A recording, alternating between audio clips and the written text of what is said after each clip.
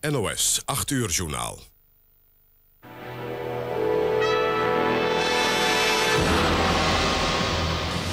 Vredesproces door twee bomaanslagen Israël onder druk. Massale opkomst bij herdenking Jodenvervolging. Gijzelaars Irian Jaya toch niet vrij.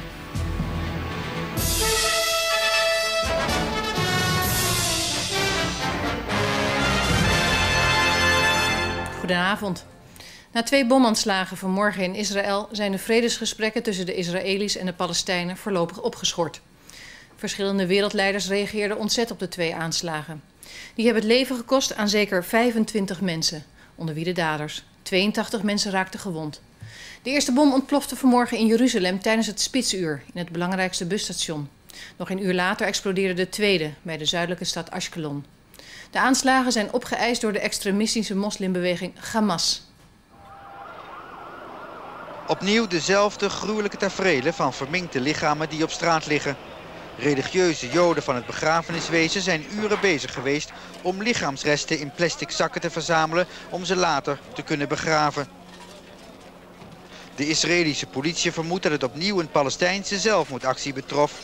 Precies op de dag dat twee jaar geleden een Joodse extremist zijn machinegeweer leegschoot in een Palestijnse moskee in Hebron.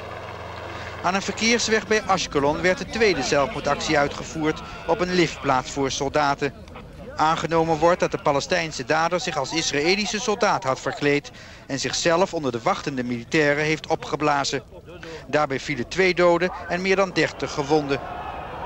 Premier Peres bezocht in Jeruzalem de plaats van de aanslag en werd uitgejouwd door woedende omstanders die geen heil meer zien in Israëls huidige vredesbeleid. Palestijn, Palestijn,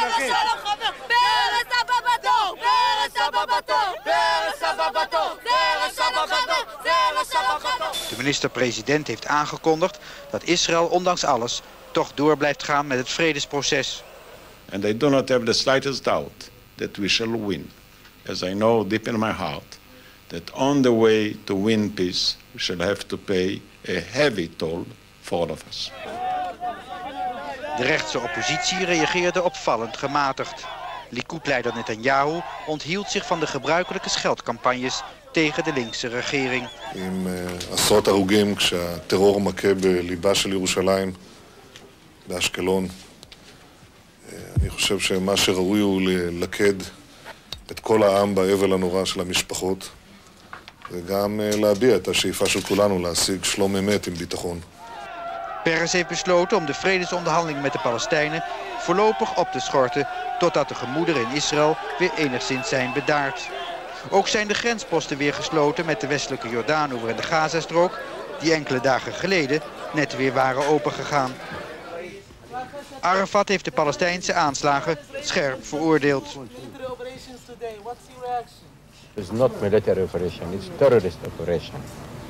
I condemn it completely. De Israëlische Veiligheidsdienst heeft de laatste tijd voortdurend voor dit soort aanslagen gewaarschuwd... omdat een Palestijnse vergeldingsactie werd verwacht... na de Israëlische moordaanslag op Yihya Ayash... de bommenexpert van de islamitische Hamas-beweging. Deze aanslag is de bloedigste sinds de vredesovereenkomst van 1993 tussen Israël en de Palestijnen. Voor de uitzending vroeg ik onze correspondent in Jeruzalem of de vredesonderhandelingen voor de vorm voorlopig zijn opgeschort, totdat de doden zijn begraven, of dat het vredesproces nu echt op losse schroeven staat. Nee, het vredesproces staat niet op losse schroeven.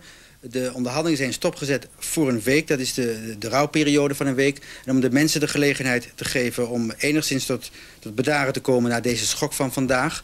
Daarna zullen de onderhandelingen worden voortgezet... omdat Peres, zoals Peres zegt, hij niet wil dat de Hamas-terreur de overhand krijgt... en dat precies zal gebeuren wat Hamas wil... namelijk dat er een einde komt aan de onderhandelingen... tussen de Israëli's en de Palestijnen. Je zei het al in je reportage, de oppositie heeft dit keer opvallend gematigd gereageerd. Hoe verklaar je dat? Ja, de oppositie die blijkt een, een les te hebben geleerd van de, van de moordaanslag op Rabin... die vooraf werd gegaan door een zeer felle haat- en scheldcampagne... door de rechtse oppositiepartijen, juist vanwege dit soort aanslagen. Nu slaat de oppositie een hele andere toon aan. Een toon van nationale eensgezindheid in deze periode van nationale rouw.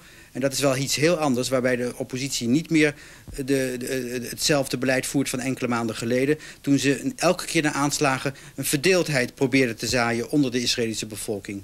Premier Perez heeft vervroegde verkiezingen uitgeschreven. Die zijn nu in mei. Met als inzet steun het vredesproces. Beïnvloedt deze aanslag de verkiezingscampagnes... nu bijvoorbeeld de oppositie zo'n zo'n opvallend gematigde toon heeft? als dit soort aanslagen door blijven gaan... dan uh, zal het wel eens een heel groot effect kunnen hebben op de Israëlische bevolking. Op het ogenblik is het nog zo dat volgens alle opiniepeilingen premier Peres een grote voorsprong heeft op zijn tegenkandidaat Netanyahu van de rechtse Likud-partij. Maar zoals ik al zei, naarmate er meer aanslagen in deze periode plaats zullen vinden, zullen meer Israëli's zich afvragen wat de zin is van, van, van deze vredesonderhandelingen, waarbij de zelfmoordacties gewoon maar door zullen gaan. En dan zullen ze meer geneigd zijn om bij de volgende keer uh, de, de, de, de rechtse oppositie de kans te geven om het vredesbeleid te gaan bepalen. Edo, dankjewel. In Amsterdam, bij de traditionele herdenking van de februaristaking van 1941, waren veel mensen met hun gedachten bij de aanslag in Jeruzalem. Duizenden waren bij het beeld de dokwerkers samengekomen om het eerste massale verzet tijdens de Tweede Wereldoorlog tegen de Jodenvervolging te herdenken. Het is dit jaar de 55ste maal dat de februaristaking wordt herdacht. Kransen en bloemen bij het symbool van verzet, het beeld van de dokwerker. Bloemen van voormalig verzetsmensen en van oorlogsslachtoffers. Maar ook van het gemeentebestuur van Amsterdam en van minister Borst van VWS. Meer dan 300.000 Nederlanders legden op 25 februari 1941 het werk neer... uit protest tegen de razzia's van de nazi's op de Joden. De staking begon in Amsterdam en was een daad van verzet en van solidariteit. Veel van de bezoekers waren vanmiddag met hun gedachten ook bij de dramatische gebeurtenissen eerder op de dag in Israël. Ik denk dat veel mensen met hun gedachten in Jeruzalem zijn. Ik in ieder geval wel. Het is een heel bijzondere dag. En ik denk zelf ook aan wat er gisteren voor demonstratie in Zwolle was. Dan zeg ik, goed dat er zoveel mensen bij de dokwerkers zijn hier vandaag. In de Mozes en Aaronkerk in Amsterdam is een tentoonstelling geopend met foto's van razzia's. Destijds de aanleiding tot de februaristaking. Een poging van het internationale Rode Kruis om de gijzelaars op het Indonesische eiland Irian Jaya vrij te krijgen is mislukt. Onder de gijzelaars bevinden zich twee Nederlanders.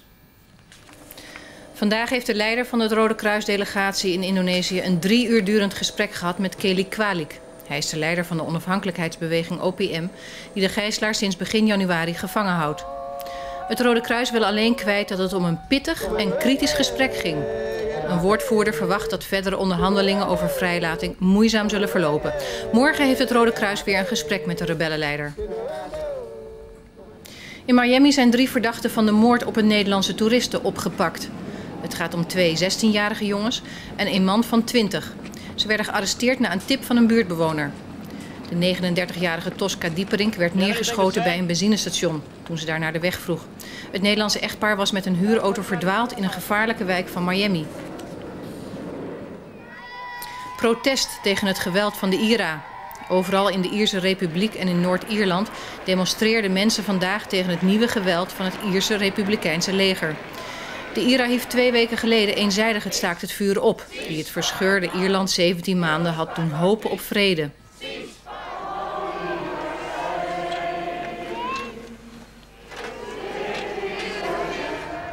Ook in Londen een vredesdemonstratie. Hier verloren bij recente bomaanslagen drie mensen het leven. De politieke arm van de IRA, de Sinn Féin, wil morgen gaan praten met vertegenwoordigers van de Britse regering. De Verenigde Staten hebben Cuba om opheldering gevraagd over het neerschieten van twee Amerikaanse vliegtuigjes. De toestellen werden afgelopen nacht neergehaald omdat ze volgens Cuba in hun luchtruim zaten. De Verenigde Staten bestrijden dat. I have instructed our interest section in Havana to seek an immediate explanation for this incident from the Cuban government. I condemn this action in the strongest possible terms. Een vertegenwoordiger van Cuba in Washington verdedigde het neerschieten van de privévliegtuigen. We before that we only warned them that they violated this, the Cuban space several times in the last month. We have patience, but we, the patient has an end also. Er zijn tot nu toe geen overlevenden gevonden van de twee Cessna's. Alleen een olievlek markeert de plaats waar de toestellen in zee storten. Met de toestellen zoeken Cubaanse bandelingen uit Miami naar bootvluchtelingen in nood. En soms gooien ze boven Cuba pamfletten uit, waarin de bevolking tot verzet wordt opgeroepen. En het weer. Het blijft voorlopig bewolkt. Vooral vanavond en vannacht regent of motregent het.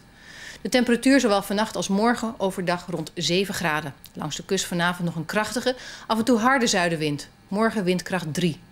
De vooruitzichten voor dinsdag tot en met donderdag. Vanaf dinsdag blijft het droog. Er staat weinig wind, nu en dan zon. De middagtemperatuur zakt van 7 graden op dinsdag naar 5 op donderdag. S'nachts kan het licht vriezen. Dit was het 8 uur journaal van zondag 25 februari.